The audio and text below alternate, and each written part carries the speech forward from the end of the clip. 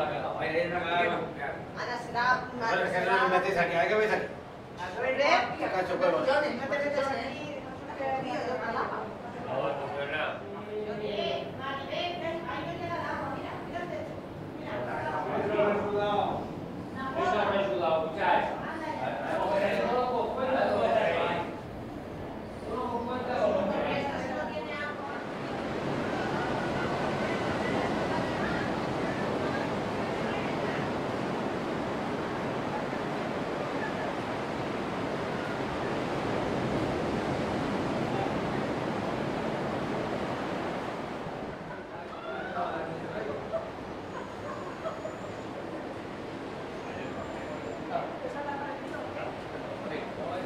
Virgen de Fátima y su Ricardo.